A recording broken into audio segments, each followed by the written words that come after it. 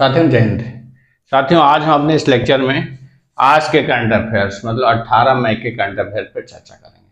आप जानते हैं, हम इस लेक्चर में वही क्वेश्चंस लाते हैं, जो आपके एग्ज़ाम्स के लिए राष्ट्रीय अंतर्राष्ट्रीय ऐसे घटनाक्रम होते हैं, जो मोस्ट इंपॉर्टेंट होते हैं।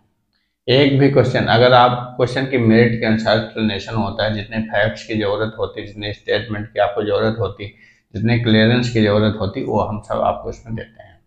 अगर आप नहीं देखे हैं हमारा करंट अफेयर तो पिछले लेक्चर देख लीजिए, आप स्वयं समझ जाएँगे कि कितना इम्पोर्टेंट होता है हमारे लेक्चर तो आइए टाइम किल ना करते हुए आपका आज का देखते हैं। आज के दस बहुत ही मोस्ट इंपॉर्टेंट क्वेश्चन जो आपके एग्ज़ाम्स के, हर एक एग्ज़ाम के लिए बहुत इंपॉर्टेंट है।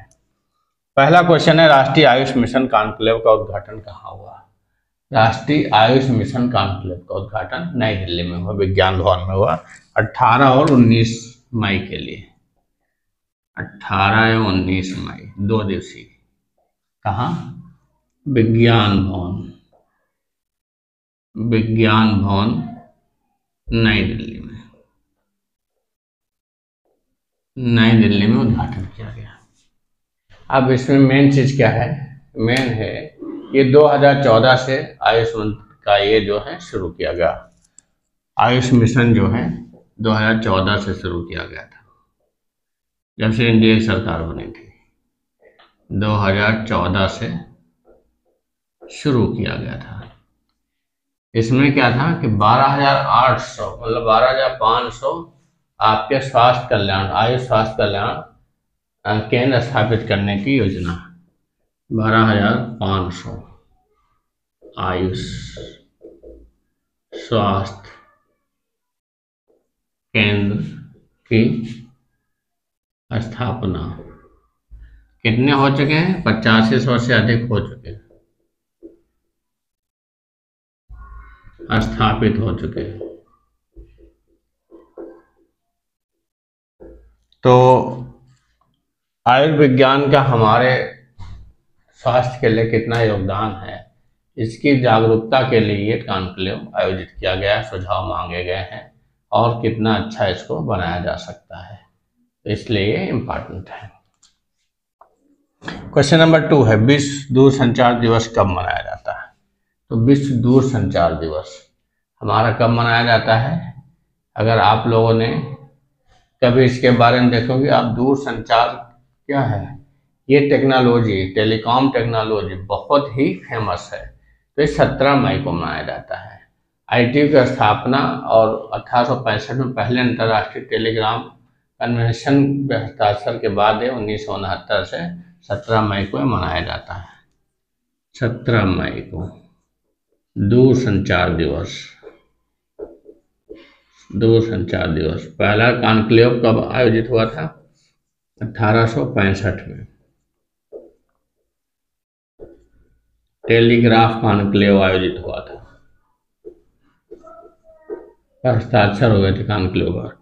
और अठारह सौ उनहत्तर, सत्रह मई से, अठारह सौ उनहत्तर से लगातार इसको प्रमोट करने के लिए विश्व दूर संचार दिवस मनाया जाता है।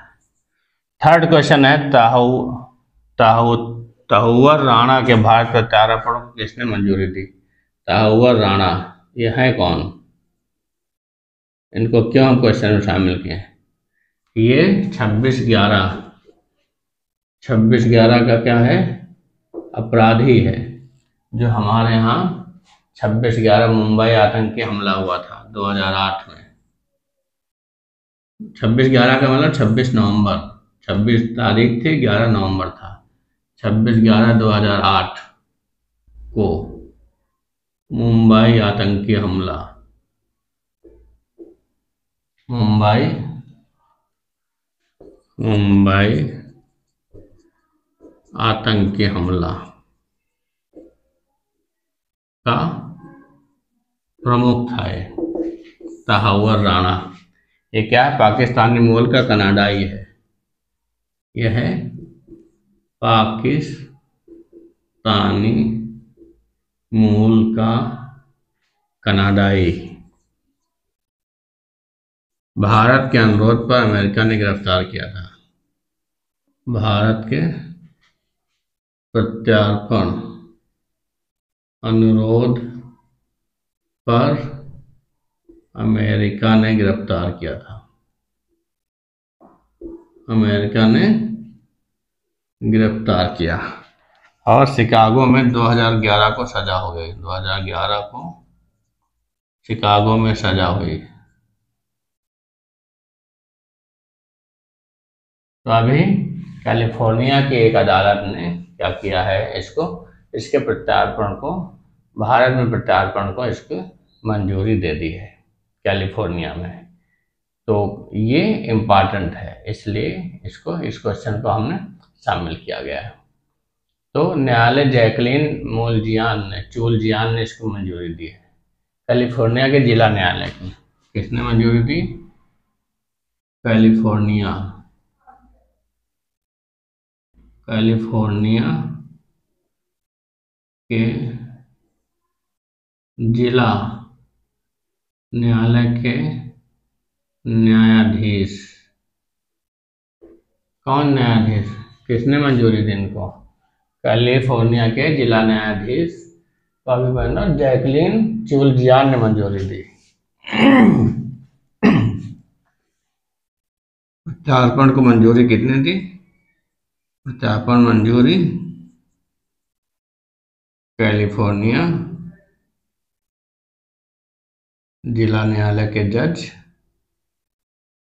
के जज जैकलीन चुलियान ने दी इनका नाम याद रखिएगा, पूछ सकता।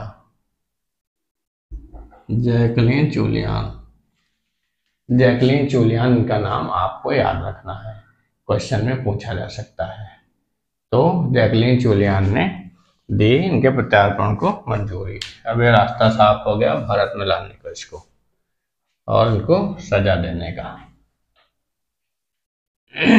हमारा नुकसान हुआ तो हम सजा देंगे ना। दूसरी जगह क्यों? इसलिए इसके प्रत्यार्पण को मंजूरी मिल गई है अमेरिकी अदालत द्वारा। कौन था हमको आपको बता दिया हमने आपको। फोर्थ क्वेश्चन है, सरकार ने सहकारी क्षेत्र में कितने एफ़ किसान, सहकारी किसान उत्पादक संगठन है? एफ़ फार्मर प्रोडक्टिव ऑर्गेनाइजेशन तो ग्यारह सौ। सरकार ने ग्यारह सौ। F P O farmer productive organisation की मंजूरी दी, ग्यारह सौ। साढ़े ग्यारह नहीं, ग्यारह सौ। ग्यारह सौ नए जो हैं, किसान उत्पादक केंद्रों की मंजूरी किसने दी है? सरकार ने दी है। अब इसके अंतर्गत क्या होगा? प्रत्येक एफ़ को तैतीस लाख की सहायता उपलब्ध की जाएगी। किसान उत्पादक संगठन होते हैं। हिंदी में क्या है? किसान उत्पादक संगठन। प्रत्येक को तैतीस लाख की वित्तीय सहायता।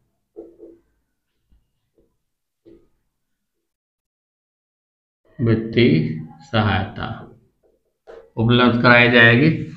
और प्रत्येक एफ़पीओ के क्या होंगे? और इसके अलावा क्लस्टर व्यवसायिक जो संगठन है इसके, उसको 25 लाख प्रति एफ़ प्रदान किया जाएगा। और ये किसके द्वारा किया जाएगा? राष्ट्रीय सहाय, सहकारी आपका विकास निगम द्वारा। किसके द्वारा किया जाएगा? राष्ट्रीय सहकारी विकास निगम द्वारा। विकास निगम द्वारा। इसकी स्थापना मार्च उन्नीस में हुई थी। तो इसके द्वारा ये, इसका स्थापना की जाएगी, किसानों को पूर्ण रूप से सहायता प्रदान करने के लिए किया जा रहा है। फिफ्थ, कई रेल योजनाओं की आधारशिला कहाँ रखी गई? तो ओडिशा में। ओडिशा में। किसने रखा प्रधानमंत्री ने, पीएम द्वारा। कौन सी हाल है? रेल परियोजना। रेल परियोजना। 800 करोड़ के अधिक 800 प्लस करोड़ की। यहीं पे का क्या घोषणा की गई है? पुरी और Howrah. Puri Howrah. Vande Bharat train, Vande Bharat express. नियमित रूप से 20 मई से चलेगी 20 मई से। 500 किलोमीटर की यात्रा पूरी करेगी। वंदे भारत अच्छी स्पीड होती है, लगभग 160 किलोमीटर प्रति घंटा की स्पीड चलती है इस यात्रा में। समय भी काफ़ी बचेगा तो प्रधानमंत्री जी ने इसको भी हरी झंडी दी, जो नियमित रूप से 20 मई से शुरू हो जाएगा। और उड़ीसा द्वारा rail 100 percent electric rail network को पूरा किया गया राष्ट्र को समर्पित किया गया 100 परसेंट विद्युत रेल नेटवर्क। उड़ीसा में रेल नेटवर्क को राष्ट्र को समर्पित किया गया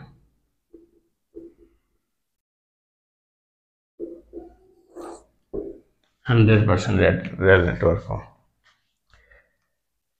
क्वेश्चन नंबर सिक्स है हमारा। श्री अन्ना महोत्सव का आयोजन कहाँ किया गया? श्री अन्ना मेन चीज़ बाजरा महोत्सव। श्री अन्ना मतलब बाजरा महोत्सव मिलेट्स मोटा अनाज जिसको कहते हैं। मोटा अनाज को प्रमोट किया जा रहा है और क्योंकि ये 2023 जो है हमारा योनो द्वारा घोषित क्या है? बाजरा अंतर्राष्ट्रीय वर्ष है। अंतर्राष्ट्रीय बाजरा वर्ष है। इसको मनाने के लिए श्री अन्ना मेला शुरू किया गया। श्री अन्ना मेला। कहा? देहरादून। देहरादून, उत्तराखंड में। उत्तराखंड में शुरू किया गया। इसको प्रमोट करने के लिए मोटा अनाज हमारे लिए कितने आवश्यक है, स्वास्थ्य के लिए कितना आवश्यक है, चाहे डायबिटीज़ हो आपको, चाहे जो अन्य लीवर संबंधी बीमारियाँ हो इतनी मिलावट आ रही है खाद्य पदार्थों में, उसे निपटने के लिए हर थाली में मोटा अनाज, जैसे एम जो सरकार देती है, उसमें भी मोटा अनाज का प्रयोग होगा। तो ये चार दिवसीय उत्तराखंड देहरादून में इसका आयोजन किया गया इसको प्रमोट करने के लिए। मोटे अनाज को प्रमोट करने के लिए सीधे आप कर सकते हैं।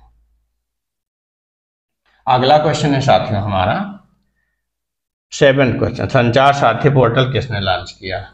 तो संचार से रिलेटेड है तो केंद्रीय दूरसंचार मंत्री अश्विनी वैष्णव द्वारा लॉन्च किया गया। किसने लॉन्च किया? अश्विनी वैष्णव अश्विनी वैष्णव ने इसको लॉन्च किया गया हमारा। अगला क्वेश्चन जो है तो इसको 16 मई को लॉन्च किया गया। इसके माध्यम से 40 लाख फर्जी कनेक्शनों की पहचान की गई। सेवेंथ, संचार साथी पोर्टल केंद्रीय मंत्री अश्विनी वैष्णव ने लॉन्च किया। मंत्री अश्विनी वैष्णव ने लॉन्च किया। अश्विनी वैष्णव द्वारा लॉन्च।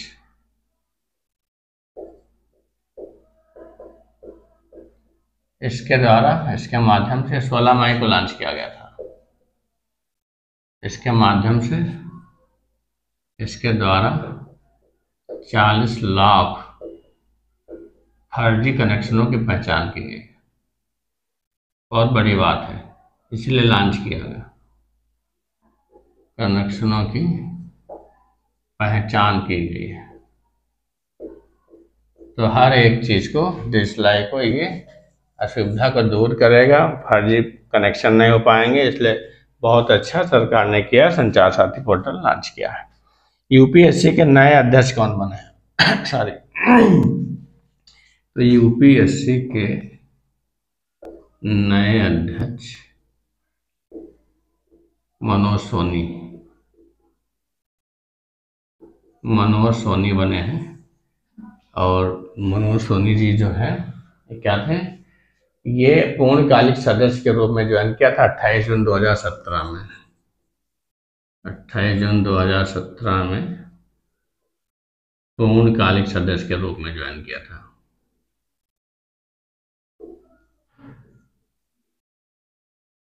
यूपीएससी के नए अध्यक्ष मनोज सोनी बने, जो अट्ठाईस जून 2000 पूर्णकालिक सदस्य के रूप में यूपीएससी में ज्वाइन किया था।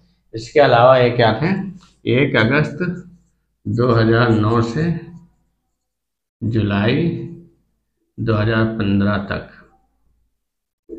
बाबा, डॉक्टर बाबा साहब बाबा साहब अंबेडकर मुख्य विद्यालय में कुलपति थे। डॉक्टर बाबा साहब अंबेडकर मुक्त विश्वविद्यालय के कुलपति थे। सबसे युवा कुलपति थे। उसके पहले और एक विश्वविद्यालय के कुलपति रह चुके हैं। तो इनको बनाया गया है यूपीएससी के नए अध्यक्ष। किसके अंतर्गत है यूपीएससी हमारा संवैधानिक है ये 315 से आर्टिकल 323 के अंतर्गत। यूपीएससी किसमें है? संघ लोक सेवा आयोग। जिसके लिए आप तैयारी कर रहे हैं। सेवा आयोग, आर्टिकल 315 से आर्टिकल 323 तक। नियुक्ति हटाया राष्ट्रपति भी द्वारा जा सकता है, नियुक्ति भी राष्ट्रपति करता है। नियुक्ति राष्ट्रपति द्वारा। द्वारा कार्यकाल कितना है? कार्यकाल पाँच वर्ष, सॉरी, छः वर्ष। छः वर्ष या पैंसठ वर्ष आयु, जो भी इसमें पहले हो जाए। जो भी छः साल कार्यकाल है या पैंसठ वर्ष आयु पूरी कर ले, जो पहले हो जाए तो उसी में उसका रिटायरमेंट होता है। अदरवाइज़ राष्ट्रपति द्वारा कभी भी हटाया जा सकता है। सकता है राष्ट्रपति इसकी नियुक्त करते हैं राष्ट्रपति हटा सकते हैं। अगला क्वेश्चन है हमारा नाइन्थ क्वेश्चन है। देश के नए कानून मंत्री कौन बने हैं? तो देश के नए कानून बनते हैं अर्जुन राम मेघवाल बने हैं। अर्जुन राम मेघवाल को अलग से चार्ज दिया गया, किरण रिजिजू रिजिजू के जगह। Ninth question Kiran Rijiju. Rijiju के स्थान पर? के स्थान पर? राज्य मंत्री कानून राज्य मंत्री स्वतंत्र प्रभार, कानून राज्य मंत्री स्वतंत्र प्रभार। इसको दिया गया अर्जुन राम मेघवाल को बनाया गया। अर्जुन राम मेघवाल को बनाया गया। ये जो देख रहे थे उस कार्यक्रम के अतिरिक्त प्रभार इनको दिया गया है। और किरण रिजिजू को क्या बनाया गया है? पृथ्वी विज्ञान मंत्रालय बनाया गया पृथ्वी विज्ञान मंत्रालय इनको दिया गया क्यों दिया गया कि इन्होंने अभी तक हाल में ही किसमें सुप्रीम कोर्ट के कोलेजियम सिस्टम पे इन्होंने टिप्पणी की थी। सुप्रीम कोर्ट के कोलेजियम। कोलेजियम। प्रक्रिया पे टिप्पणी के कारण कोलेजियम प्रक्रिया पर टिप्पणी के कारण इनका विरोध हो रहा था। आशा जताई जाए इसलिए जताई जा रही, इसीलिए प्रधानमंत्री ने इनको क्या है, हटा दिया है। क्योंकि नब्बे जो पूर्व जज थे, उन्होंने लेटर लिखा था प्रधानमंत्री को इनके विरोध में कि इनको हटाया जाना चाहिए। इनको कई और टिप्पणियाँ जो थे, सुप्रीम कोर्ट पे इन्होंने की थी। समझ लीजिए एक अपोज अपोज में उसके इसलिए इनको सरकार किसी भी विवादास्पद बयानों से बचने के लिए ये किरकिरी नाव सरकार के, इसलिए इनको हटाया गया, क्योंकि आगे इलेक्शन आने वाले हैं हज़ार चौबीस में। आई थिंक यही किया गया है। कर्नाटक के नए सीएम कौन बने हैं? तो सिद्धारमैया कर्नाटक के नए सीएम नियुक्त हुए हैं सिद्धारमैया कांग्रेस के हैं। I N C Indian National Congress. Indian National Congress, राष्ट्रीय कांग्रेस पार्टी के जो है, ये किए गए हैं। अभी उन्नीस सौ तिरासी में जो है, उन्नीस सौ तिरासी में एक कर्नाटक विधानसभा में एमएलए बने थे। कर्नाटक विधान सभा में एमएलए जन, लोक दल से। लोक दल से। फिर ये जनता दल में उन्नीस सौ चौरानबे उन्नीस सौ चौरानबे में जनता दल, देवगौड़ा सरकार में, देवगौड़ा सरकार में वित्त मंत्री रहे। वित्त मंत्री रहे। और उसके बाद भी ये क्या रहे? उसके बाद भी सिद्धरमैया जो हैं, ये ये मंत्री मंत्री मंत्री दल, मंत्री परिषद में शामिल रहे सिद्धरमैया जी। क्या, किस रूप में? 2000 2005 से, उन्नीस सौ छियानबे में जी पटेल सरकार थी उसमें उप उप मुख्यमंत्री बने। उन्नीस सौ छियानबे में J H Patel J H Patel सरकार में उप मुख्यमंत्री बने। तो काफ़ी इसमें चल रहा था विरोध चल रहा था। डी के शिव कुमार जी जो थे, वो मुख्यमंत्री पद लेना चाहते थे जो अध्यक्ष हैं, कर्नाटक प्रदेश अध्यक्ष हैं, राष्ट्रीय कांग्रेस पार्टी के। तो उनको मनाया गया, उनको उप मुख्यमंत्री पद शायद दिया गया है। इसलिए अब खत्म हो गया। बीस मई को मतलब विवाद खत्म हो गया। बीस मई को शपथ लेंगे। तो ये काफ़ी कद्दावर नेता है। और एक बार सीएम में रह चुके हैं। कब सीएम रह चुके हैं? तो ये 2013 में कांग्रेस के ही इक्कीसवें सीएम बने थे। नहीं, इस बार इक्कीसवें सीएम की, बाईसवें सीएम की शपथ लेंगे। 2013 में सीएम बन चुके हैं। 2013 में 224 में 122 सीटें जीत कर इनके नेतृत्व में। सीटें जीत कर सीएम बने थे। सीएम बने थे।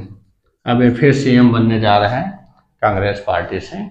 तो साथियों, लाइट चली गई है। तो थोड़ा असुविधा हो रही होगी आपको। ये रहे आज के हमारे दस बहुत ही महत्वपूर्ण क्वेश्चन साथियों। कैलीवर्डा को देखते रहिए। करंट अफेयर्स में बने रहिए। ऐसे बहुत से लेक्चर पाने के लिए आप पूरे पीछे लेक्चर देख लीजिए और डेली का करंट अफेयर तैयार करने के लिए कैलीवर अड्डा से बेस्ट ऑप्शन आपको नहीं मिलेगा। आप हमारे साथ बने रहिए साथियों। मस्त रहिए, पढ़ाई में व्यस्त रहिए फास्ट टी के साथ कैलीवर अड्डा देखते रहिए। अच्छा लगे तो इसको प्लीज़ क्या करिए शेयर करिए, खुद सब्सक्राइब करिए बेल आइकन ऑन कर लीजिए। समय से कैलीवर अड्डा को रिवाइज कर लीजिए और लेक्चर देख लीजिए। फैक्ट्स नोट कर लीजिए करंट अफेयर्स को कोई टेंशन नहीं। विश्वास करिए, बने रहिए। जय हिंद।